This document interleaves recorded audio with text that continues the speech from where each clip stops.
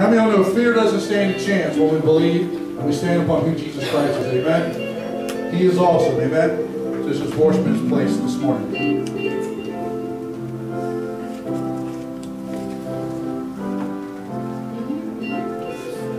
When darkness tries to roll over my bones When sorrow comes to steal the joy I own In brokenness and pain. You are my hope My firm foundation My firm foundation. Cause fear doesn't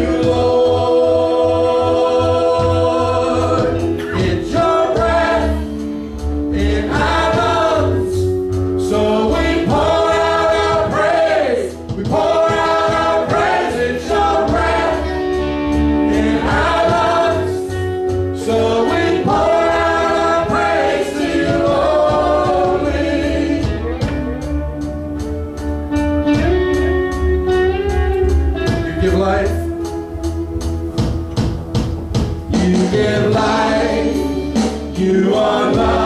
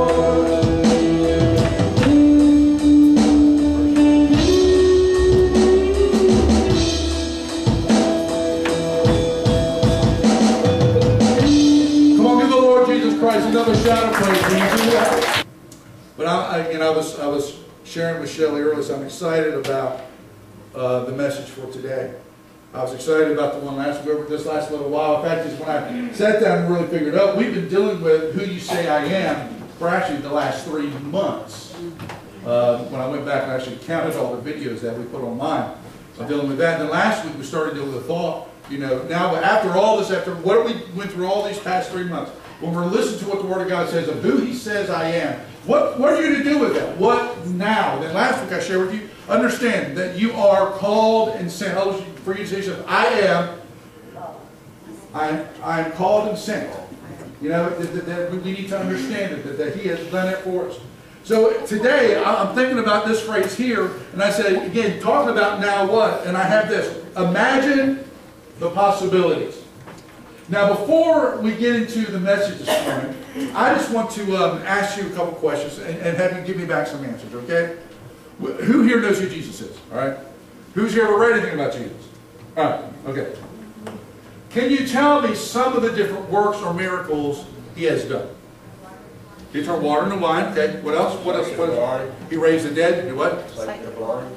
Give sight to the blind. What else? Cured the. Healed the leper. Okay. Walked on water. Walked on water. What else? Feed the people. Fed the five thousand. Then fed the the, um, the four thousand. All right. So he did it twice. What else? He himself rose from the dead. Um, made the deaf hear. Um, anything else? Lame walk, yeah. He did walk through the walls.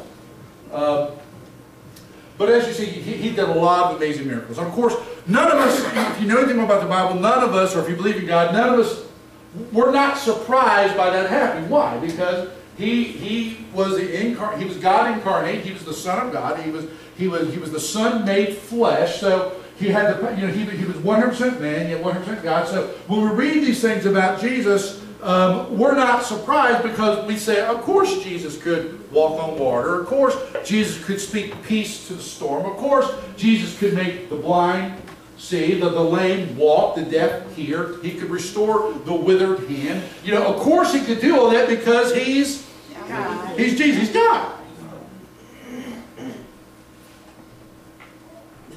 So, you know, we really don't have a, a, a big problem with that. And I sort of started to hint about this. I started to talk about this last week. And I, and I didn't feel released to really dive away from, from that type of thought process.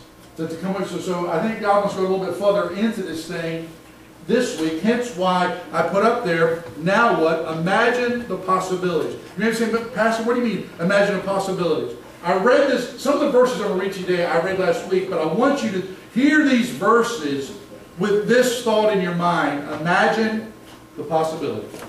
Imagine the possibilities. In John chapter 14, verses 12 through 14, this is what we're reading. It says, I, this is Jesus speaking. He says, I tell you the truth. Anyone who believes in me will do the same works I have done, and even greater works, because I'm going to be with the Father. You can ask for anything in my name, and I will do it, so that the Son can bring glory to the Father. Yes, Ask me for anything in my name, and I will do it. Now, real quick. He says, I tell you the truth, anyone who believes in me will do the same works I have done, even greater works will go to the Father. Okay. We just named some things, didn't we? This, here's the Son of God telling those who believe in this. So I want you to sit there and imagine the possibilities. Imagine, truly imagine for a second, you being a follower of Jesus Christ, you being a believer of Jesus Christ, really imagine what he's declaring over your life today. I, I know, uh, I think it was about a month ago, I, I was, we were talking a little bit about something like this in one of the messages, and I, I Yvonne's here, so I always pick on her a lot. I know she, she, she, doesn't like to be picked on, so that's why I pick on her. That's why I draw attention to her and all that stuff. See, but I know, I know, I know that's a thousand. Lord forgive her for her lying. We know it's just trying to avoid confusing her, so hopefully we yes. Okay. And I brought up, and I brought up the, the, the account that the Bible tells about. I think Will's one who brought it up. about feeding the 5,000. Feeding, feeding the 5,000, also feeding 4,000. And how Jesus with, you know, with 5,000, it was just uh, two fish and five loaves of bread, how he fed, it says 5,000 men, not including women and children. So, I mean, it's, it's estimated to be as many 15 to 20,000 people that he fed with just that amount of stuff, him being God. And of course, you know, many times when we think about certain things, we, we, we think, you know, well, yeah, Jesus did he's the Son of God. But you need to really understand, So I'm telling you, imagine the possibilities here. Because here's, here's the question I want to ask you. Is there anything impossible for God? Okay, that was a no. Now, let me ask you this question. Is there anything impossible for us? Yes. Most definitely. We, we are finite beings. We, we have limits to ourselves. We can sit there and say all we want, you know, we can sit there and say, I'm going to jump 20 feet in the air, and without probably the aid of a trampoline, we're not going to jump 20 feet in the air. I mean, Michael Jordan had some vertical jump, but he could jump 20 feet in the air. All right? So we understand that we ourselves, we have limitations. But what you need to understand is you being a believer in Jesus Christ, that all of a sudden is a game changer. That, that is a whole situation changer. Because, you say, because, here's the thing. When you're connected to, to Jesus, who are you connected to? You're connected to the God of the universe. And what did we just say about the God of the universe? Is there anything impossible for the God of the universe? No, I mean, of course, we, could be dumb and say this, well, I know something God can't do. He can't lie. The Bible says that. I tell you something else God can't do. He can't make a stone so big that he can't lift it. Let that one sink in for a second. yeah, you know. Uh,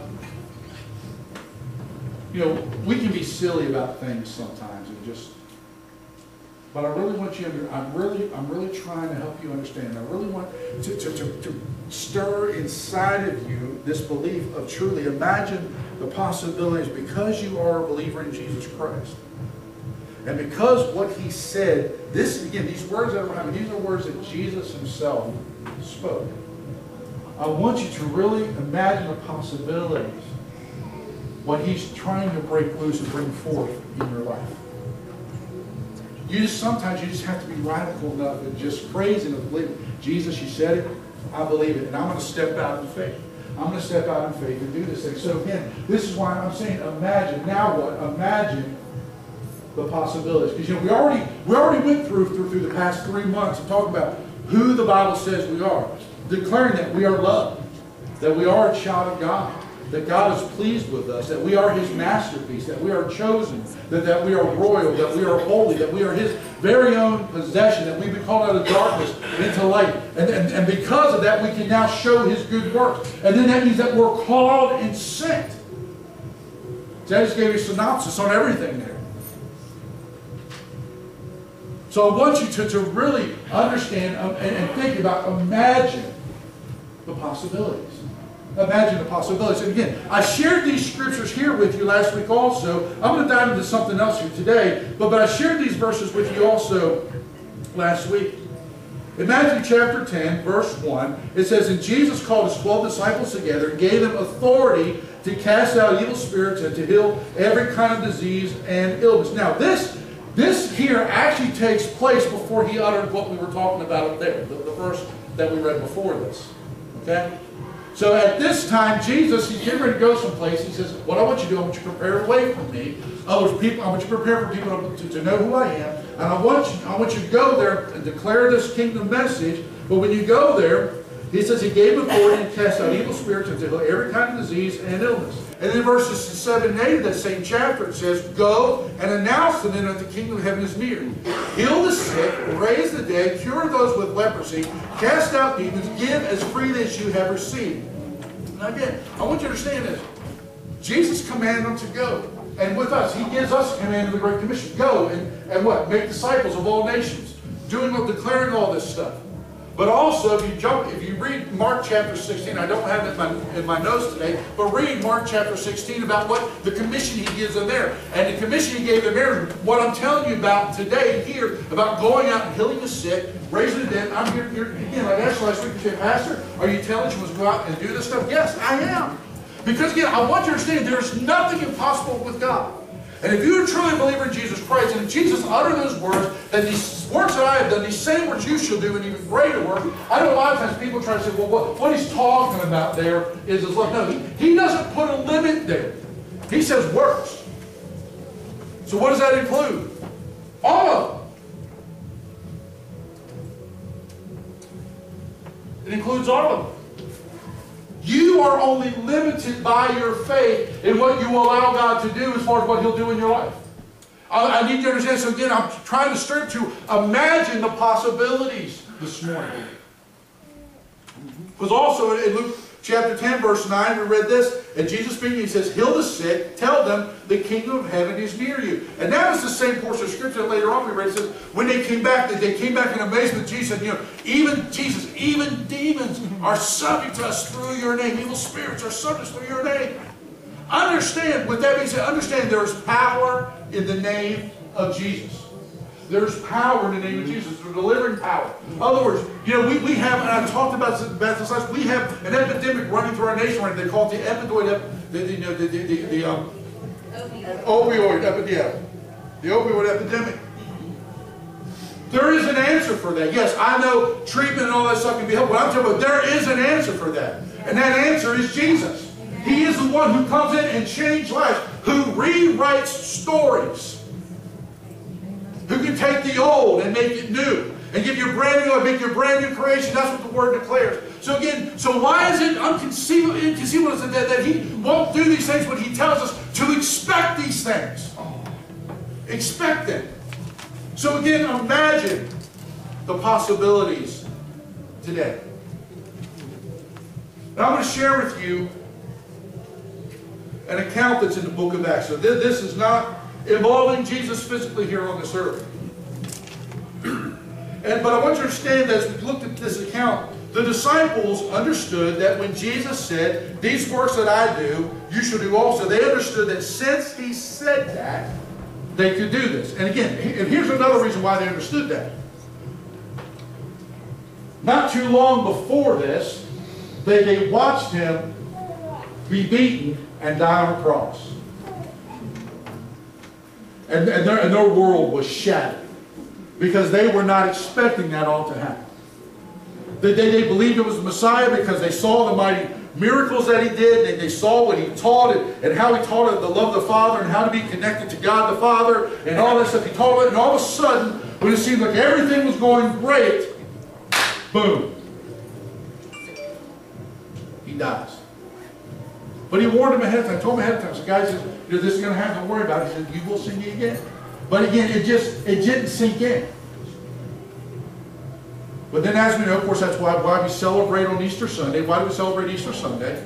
He died on the Friday, but what do we celebrate Easter Sunday for? He died on a Friday, but he rose on a Sunday. And he rose to live forevermore in a glorified body. And literally what, what happened was when he rose from dead, he literally proved to his disciples that what he said is true can be counted on. So hence, because of that, they realized that since he said, These works that I have done, you shall do also. And when he told, again, it then began to register his mind, hey, think about it back when, when he told us, he sent us out the two by two. He says, Go heal the sick, raise the dead, cleanse the lepers, do this stuff. He says, That happened.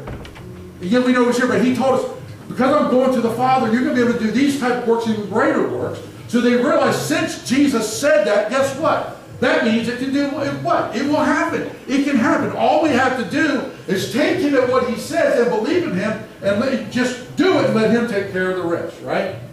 So I'm going to give you, so, so this is after the resurrection, and these are two of his disciples now that I'm going to, give you account about. But what you're saying is, they, the reason why they did this because they understood, they saw the miracles he did, they saw the miracles that they were able to do also, but because of his resurrection, it proved to them emphatically that he is the Son of God. So, so they did not hesitate in doing things in his name, especially after the resurrection, especially after the day of Pentecost, when they were endued with power from on high. In Acts chapter 3, starting, starting with verses 1 and 3, this is what we read. Peter and John went to the temple one afternoon to take part in the 3 o'clock prayer service. As they approached the temple, a man lame from birth, so First off, we know this guy, like, he could not walk. And how long has he been that way? What does it tell us? He's been that way ever since he's been born. Ever since, ever since he's been in existence, um, so which meant as a child, I guess he didn't crawl or anything. He just, he was there.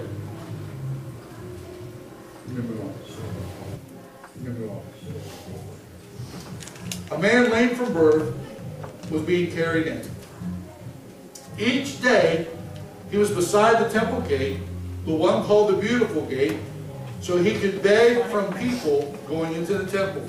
And when he saw Peter and John about to enter, he asked them for some money. Now, before I go any further, let me say this. Now, Jesus frequented the temple area often. He went there many times. Several of his miracles were performed at the temple.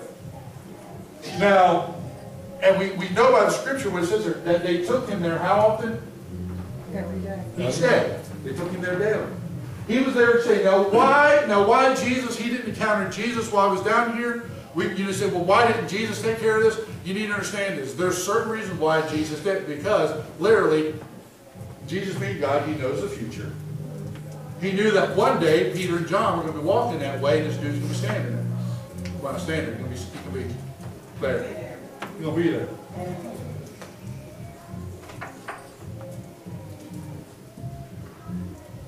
So Peter and John are approaching this scene. And here's this guy that's been there. And he, and this guy, when he sees Peter and John about to enter, he asks them for some money.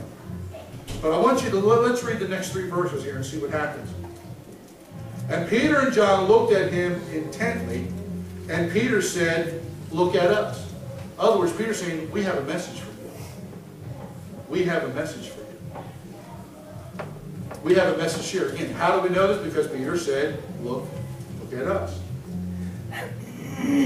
The layman looked at them eagerly, expecting some money. Because initially, if someone was to get his attention and say, hey, look at us, he was thinking, well, they're getting ready to be generous and put a little bit of something in my hand to help me out here. And listen to Peter's statement. But Peter said, we don't have any silver or gold for you. Now, again, if, if there was a long pause, I'm not saying there was, I'm just saying, but if there was, but, but in, in, in, the matter of time from when Peter said that to the words, the next words begin to issue forth, it's amazing how much can happen in splits of seconds in your mind. Who's here, you know, something going on also, but just in a matter of a split of a second, how many thoughts just sort of flood your mind? It's amazing how, how quickly that can go through your mind, isn't it?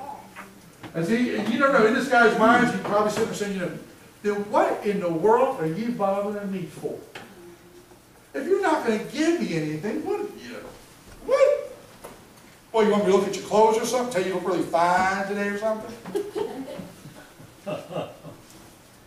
we don't know what to do with singing, because that's, that's just me being me, okay, just, just throwing it out there. But he says, we don't have any silver or gold for you. But I'll give you what I have. I'm going to stop here a second. A lot of us may not have a lot. So we think.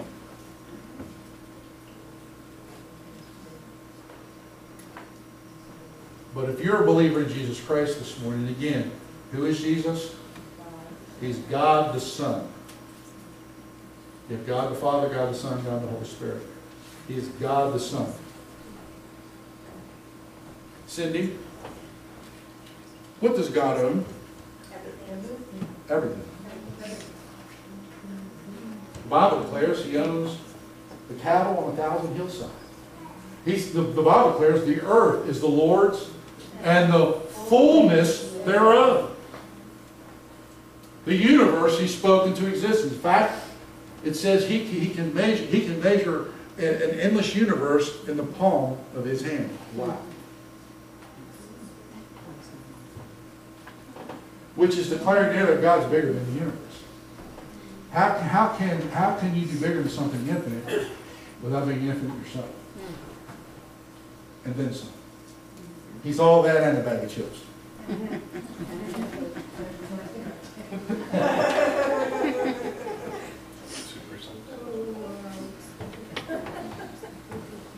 Many times we think we don't have a lot, which in an earthly sense, in an earthly sense, in a completely earthly sense, we may not really have a lot compared to somebody else.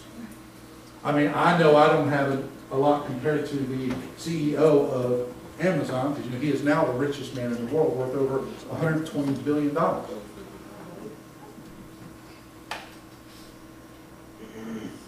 Okay, I, I might have twelve hundred dollars. You know? Um, but a lot of times we think we don't have a lot. But you need to understand, you and God have everything. That's right. Why is that? Because God has everything. You and God are a majority. Why is that? Because God all by himself is a majority. Peter realized this. He said, I don't have silver and gold, but I'll give you what I have. And see, what, again, imagine the possibilities. When you truly realize who is with you, when you confess who Jesus Christ is in your life, confess Him to be your Lord and Savior, when you truly realize who that is, what I have, for it to sink in, what I have, what do you have? I have Jesus. And I'll give you.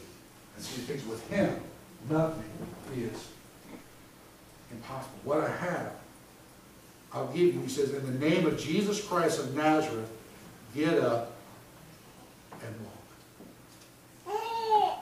See, a lot of times we read this stuff, again, we, we, sometimes take on this mindset, well, well, Pastor, yeah, Jesus did this, but, but Pastor, that was Peter and John. That was Peter and John, Pastor. That was Peter and John. Yeah, they were, they, they were, they were one, one of the original 12 called. They, they were in the inner circle, Pastor, the inner circle. When Jesus pulled three aside, they were two and three. Peter and John, Pastor. Peter and John. I'm not Peter, I'm not John.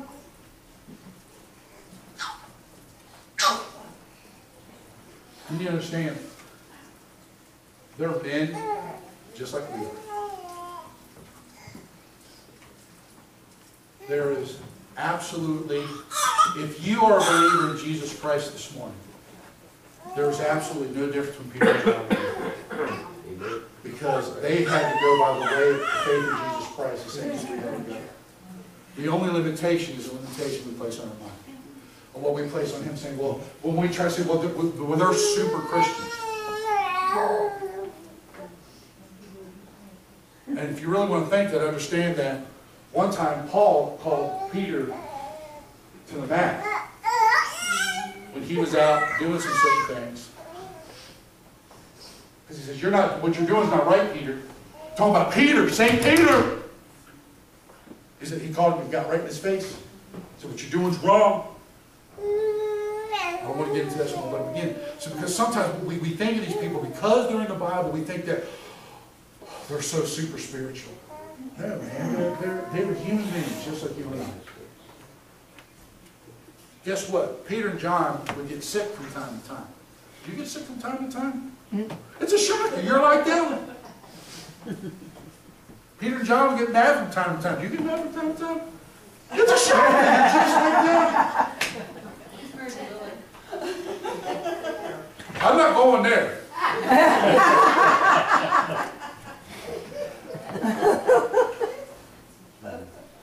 well, friend.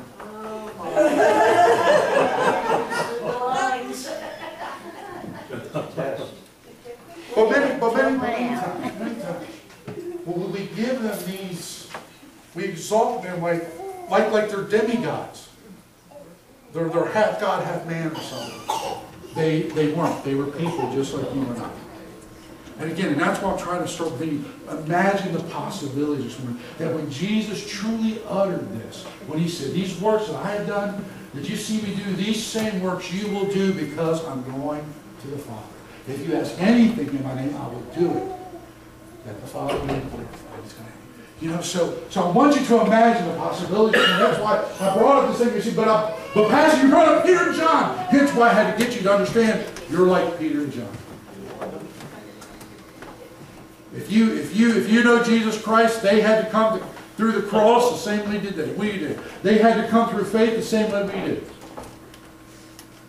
Now again, the only difference may be here, and I'm going to throw this in here.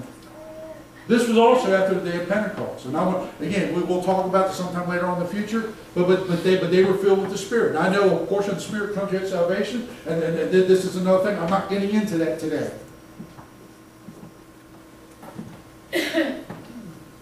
But whatever they have to allow this miracle to take place, God has made available to you. He has. So understand as we go through this. Then, then, then the account continues, and it says in verses 7 and 8, it says, Then Peter took the lame man by the right hand and helped him up. As, as he did, the man's feet and ankles were instantly healed and strengthened. Now understand, understand. When did the miracle take place? Mm-hmm. Peter said, I'll give you what I have in the name of Jesus Christ. I'll you know, rise up and be healed. He told him that. But Peter exercised his own faith by reaching out, taking him by the hand, and then helping him up. And it says the moment that he helped him up, see, today I figured since I already said uh-huh. you might not pick Peter put his faith in action by reaching out, helping out the man. Then the scripture tells us what? As he did, the man's feet and ankles were instantly healed and strengthened. Now get this. Understand this. How long has this guy been crippled? Since birth. Now, has anybody here ever, who's here like ever had like a, a knee replaced or had to have a hip replaced or, okay, all right, all right. After you had that knee replaced and you, you, were, you were laid up for a little bit, what did they have to teach you to do? Right, did they have to show you how to do, right, how to function with it? But the thing is, which really should be real difficult for you because, right, what were you doing before you went in that place? You were walking. So, so walking would just be something that, okay, all right, I just have a new piece of equipment in there. You know, it's a little bit harder now since it's still, maybe I can put it through a block wall. but, yeah. Um, but it was something you already knew how to do. See, again, you sometimes we sort of say, yeah, it's a great miracle. His, his ankles were strengthened and all that stuff. But, but again, the, miracle didn't just stop with that. He jumped up, stood on his feet, and began to walk. And then walking, leaping, and praising God, he went into the temple with them. So not, not only were his ankle bones and everything strengthened and healed, immediately he was given knowledge and ability not only to walk and the, and the muscle strength, not only to walk, but to leap. I guarantee he did a little Holy Ghost run. Mm-hmm. And praising God. And again, just imagine the possibilities. Hmm, hmm. Like I said, Peter showed his complete confidence in the healing power of Jesus by helping the man to his feet. And in return, it helped this man to fully activate his faith. See, sometimes it's not enough for us just to say the words and pray the prayer. Sometimes we might need to make a little bit of a motion to help them, to, to, to let them know that, yes, I fully believe this. See, again, I wouldn't tell you this if I had, I mean, I, I've been in services, and I know some especially talk about Hanover Barney Street when Pop was down there, just some of the other um, crutches being attached to walls and wheelchairs and all that stuff. I mean, I, I've seen people in, in wheelchairs when the power of God hit them, get up out of that wheelchair and, and, and, and, and, and walk around the altar, jump around the altar and all that stuff. So again, I, I know, I know what he can do. And I want you to understand that, that this isn't available for just a few. This is available to those. He says, if you believe in me, those who believe in me. So imagine the possibilities. And verses 9 through 11 says this, And all the people saw him walking and heard him praising God. And when they realized he was the lame beggar that had, they had seen so often at the beautiful gate, they were absolutely astounded. They all rushed out in amazement to Solomon's colonnade, where the man was holding tightly to Peter and John.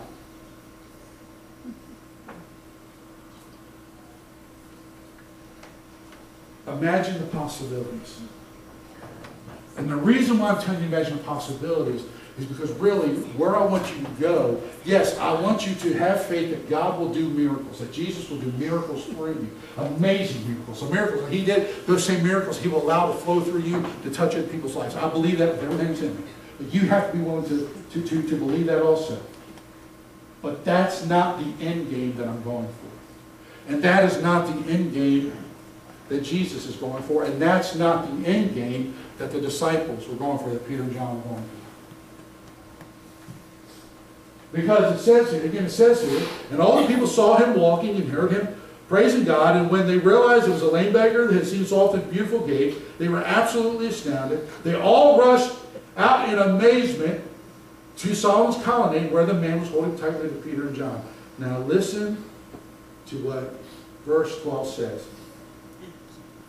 Peter saw his opportunity and addressed the crowd. Really not really important when he, it is important when he says after that, but it's not important to necessary to our conversation per se. When he saw his opportunity, he addressed the crowd. People of Israel, he said, what is so surprising about this? And why stare at us as though we made this man walk by our own power or godliness? And verse 16 says, Through faith in the name of Jesus, this man was healed, and you know how crippled he was before. Faith in Jesus' name has healed him before your very eyes. See, I want you to imagine the possibilities so you can use the miraculous to open the door to speak to the spiritual blackness in other people's lives. To where you're believing that God's going to move you so much to where it opens that door of opportunity to where you can truly share who Jesus is. And again, I know we have to live a lifestyle, man. I know we have to live the love of Christ. And, and, and I'm, we, we, yes, do that. But I'm telling you, we're, we're, Josh and I were talking about this the other night. We are living in a culture that is becoming more and more secular. They're becoming more and more spiritual, but not in the spiritual way that we would like them to become. But they're also becoming more and more secular. More and more of not, not necessarily believing in a God. And you need to understand, this is, it, yeah, in Israel, the people, the disciples were talking to people who believed in a God. But once they left there, they went to a polytheist society that believed in multiple gods and all this stuff, or no gods at all. So these signs and wonders went with them. Not to show how great they were, but to show the power of God and to show give, to give them the door of opportunity where they could speak who Jesus is. And we, honestly, we're getting increasingly back into our nation. Understand, we're not, we're not a Christian nation anymore. Because less than 50% of our country declares to know Jesus Christ. And that means we're not a Christian nation. We need to get back and say, Lord, use me in whatever way you can to let the gospel message go forth. Truly, that signs and wonders follow us wherever we go. So again, hence why I'm trying to tell you, imagine the possibilities. Really understand what Jesus has made available to you. And go out in faith. Speak his word. Speak healing and deliverance over people. And activate your faith by, by interacting with them. And let it come alive. And let God will take care of the rest. And then as you see the opportunity opens up, begin to speak to them who Jesus is.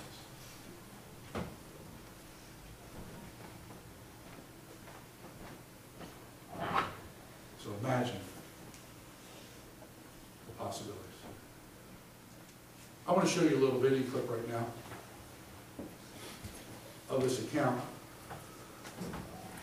And when it gets to the end, I'm going to share with you a little bit of something which you'll see at the very end and why it was so significant of what they showed at the end of the video. So there you just saw a video representation of what we're talking about this morning.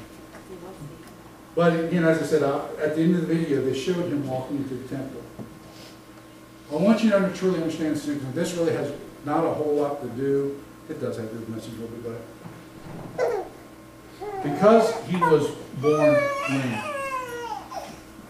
he was not allowed to enter the temple. He was born a Jew. He was born believing this one named Jehovah God.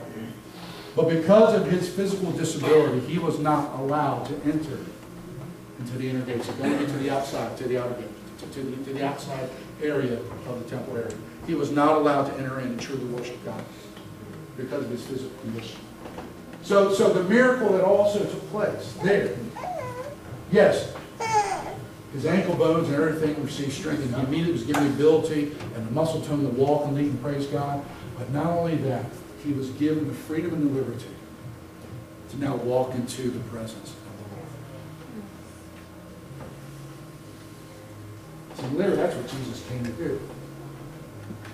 We were all beggars and, and wounded and lame and everything on the outside. But when we asked Jesus Christ, He came in, also opened that doorway. Door. We didn't have to be on the outside anymore. We could go through this. The same is why I want you to imagine the possibilities and just truly allow the powers of Jesus Christ to work through you. And as the door opens the opportunity, not only will you do a miracle that way in your life, it seems like into a physical way or whatever, but the most important thing is you'll get the opportunity to open them up spiritually to who Jesus is and what he offers, which is the most important thing. But sometimes, or even many times, we need God to miraculously move to make that situation available so he can open up the door to where when the enemy tries to bring doubt, he, you know, it's a little hard to bring doubt against something that, that, that you know, these people knew this guy was lame from birth. So it's a little hard for the enemy to fight against it because even later on, you read the story of that later on, it says the, the, the, the Jewish leaders of the temple, they couldn't say anything about this miracle because it was right there before them.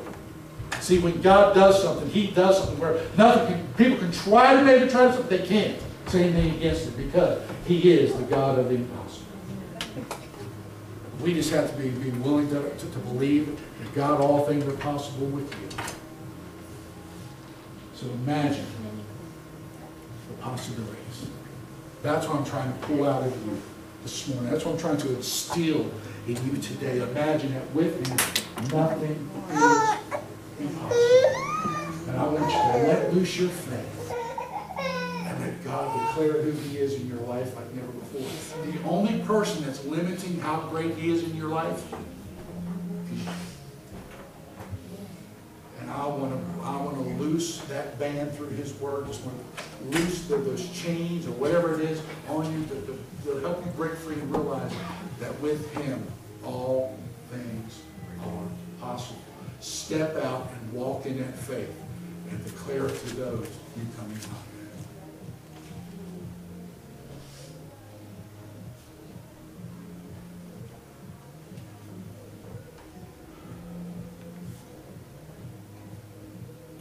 So in closing, I shared this last week. I'm going to read through these real quick.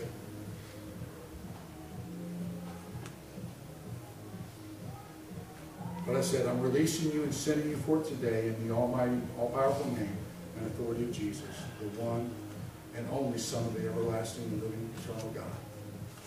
In John 20, verse 21, Jesus says, and again he said, Peace be with you. As the Father has sent me, so I am sending you. And in Acts 1, verse 8, it says, You will receive power when the Holy Spirit comes upon you. And you will be my witnesses, telling people about me everywhere in Jerusalem, throughout Judea, and Samaria, to the ends of the earth. So again, I'm telling you, go forth in the power of His Holy Spirit. Go forth and proclaim His name. Because again, Zechariah proclaims this in 4, 6. Understand this, it's not about you, it's about Him, about always giving glory to Him. Because it says this, not by might nor by power, but by my Spirit, says the Lord. It's all through His Spirit. Understand, God is the God of the impossible. He's made this available for you. Are you going to grab a hold of it? And be the, be the believer in him who Jesus says you can be. Mm-hmm. If you believe in me, these works that I do, you will do also. So go forth expecting the miraculous. And imagine the possibilities. I'm going to ask our musicians to come. And I'm gonna sort of, we're gonna, we're gonna have a time of prayer here. Because as we, as we are here today, there are several among our fellowship who aren't able to be here. I know Kathy's not able to be here. She, she texted me this morning. Um, she was planning on being here Sunday. She, she, I talked to her earlier in the week, and, and apparently this stuff that she had isn't completely out of her yet. The doctor put her on another round of antibiotics. So, uh, so we need to remember Kathy in prayer. Continue to remember Bill in prayer. I know um, little Jamie is- is not well. He has some type of something draining yellow drainage coming out of his ear and he has, an ear infection. Um, so what, how would I end this service today? First off, if you, if you yourself saying, Pastor, this has stirred up my faith. And, I, and I'm saying today, I, I, want- to talk about God. I'm starting to imagine the possibilities. And I want him to use me for his honor and glory. So if that's you this morning, I want to invite you to come and pray. But also, I want certain ones to stand in place for individuals who can't be here today. I want someone to stand in place for, for, uh, for Kathy. But again, again, I just want you to, you, you, you're going to be the, the, the physical person we're going to touch and pray for. I want someone to stand in place for Kathy today. I want someone to stand in place for Bill today. I know Chris is still dealing with, with her mess. So I want her to come up so we can pray for her today. I want Shelly to stand in for Jamie today. You, you, you can sing while, while. That- That's fine. It- it- that's perfectly fine, all right? Uh, But I want, I want you to come up, and, and I want you to truly come up in faith believing, because I know that God is able to do this. Shane? Or, or, or something? Anybody? Okay. And again, by, by the way, um, Nancy gave a report the other week about her, her grandson had some prayer done. So someone prayed for him. How's he doing,